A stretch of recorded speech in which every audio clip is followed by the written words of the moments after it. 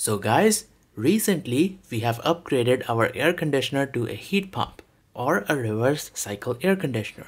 So these air conditioners heat the room up during winters and of course cool during summers. But how does a heat pump air conditioner actually work? Well, stay tuned because in this video I will try and explain how does a heat pump or a reverse cycle air conditioner works in layman terms without going into the technical details. So let's start with the basics. Every air conditioner has two parts. The unit outside is called the condensing unit, which is the one that you are looking at. And inside the condensing unit, there is a compressor and a heat exchanger, which is called the condenser. I will explain why this is called the condenser later in the video. And this picture is from an old cooling only air conditioner, but I thought it was quite interesting to look at.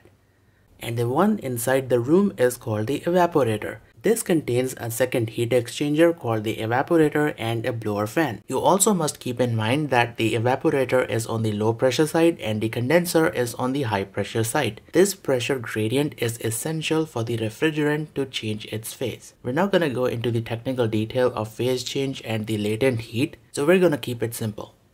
Now this is a mini split system but it's pretty much the same concept for every type of air conditioner. Now you may ask how does an air conditioner work? First off, it's a common misconception that air conditioners generate cold air. Well, they don't. In very simple words, an air conditioner works by moving heat energy from one side to the other via a refrigerant. So, when an air conditioner is cooling the room down, it's essentially removing the heat energy from the room and moving it to the outside. So before we proceed any further, let me give you a quick explanation on how the refrigeration cycle works. You see, at the heart of every air conditioner is the compressor, which compresses the refrigerant gas and under pressure, the gas heats up. This hot, high pressure refrigerant gas goes to the condenser coil, which removes its heat. And as the refrigerant loses its heat, it condenses and turns into a liquid. This is exactly why this heat exchanger is called the condenser. Now the cooled off refrigerant still under high pressure goes through an expansion valve which creates a pressure gradient. And as the cooled off liquid refrigerant enters the low pressure side or the indoor unit which is the evaporator, it expands and starts boiling. And as it boils, it absorbs huge quantities of heat energy and in doing so it turns into a gas. This is why the indoor unit's heat exchanger is called the evaporator. It evaporates the liquid refrigerant. So after absorbing all the heat energy from inside of your room, the liquid refrigerant turns back into gas. And now this gas goes back into the compressor and the refrigeration cycle starts all over again. And this particular air conditioner uses R32 refrigerant which boils at minus 51 degrees Celsius. Yes, that is pretty cold. So now that you know the basics of refrigeration cycle, let me try and explain how a heat pump works. So this is when the air conditioner is running in cool mode during summers. The indoor unit, which is called the evaporator, blows cold air and you can see that on the infrared thermometer, the temperature of the air coming out is nearly 0 degrees Celsius. And the outdoor unit, which is called the condenser, blows hot air. The temperature of the air coming out of the condenser is at about 54 degrees Celsius. This is also how a regular cooling only air conditioner works. Now in a reverse cycle unit or a heat pump, the same refrigeration cycle essentially reverses. This is done with the help of a reversing valve which is inside the outdoor unit. So now the hot gas which comes out of the compressor goes straight into the indoor unit's heat exchanger instead of the outdoor unit.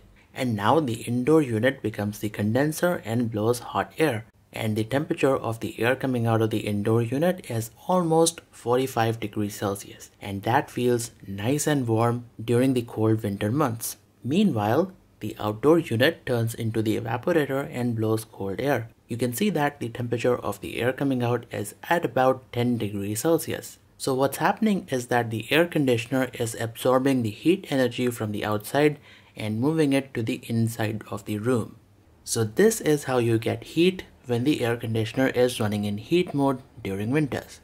And for some reason, a lot of people think that the compressor runs in reverse when you run the air conditioner in heat mode. Well, that is not true. The compressor runs normally. The reversing valve is the one that reverses the flow of refrigerant. So this is how you get heat from the indoor unit. There is also no heating element.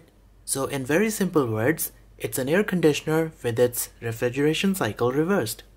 Now you may ask, how is the heat pump able to absorb heat from the outside when it is already so cold? For a moment, take a look at your freezer or your refrigerator. Even though the insides of the freezer is very cold, about negative 8 degrees Celsius, but the refrigerator's heat pump is still able to remove heat from the inside and move it to the outside. So even though it's like negative 8 degrees Celsius inside, there is still heat that can be absorbed by the refrigerant. This is because the boiling point of the refrigerant is extremely low, even lower than that of the insides of the freezer which is at negative 8 degrees Celsius. So there is still heat inside the freezer that the refrigerant can absorb and move it to the outside. This is exactly how our heat pump works. Our heat pump is also in a similar situation. Even though it is cold outside, the refrigerant is still able to absorb heat because the boiling point of the refrigerant is much lower than that of the ambient temperature even during winters.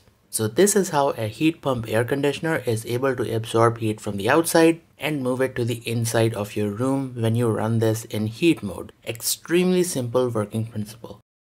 Alright, so I hope that gives you a rough idea of how these hot and cold air conditioners or heat pumps work. We're not going to go into the technical details of how the refrigerant works or the concept of latent heat because we want to keep this video short and simple. So thank you for watching, stay tuned for more videos like these and I will see you guys next time.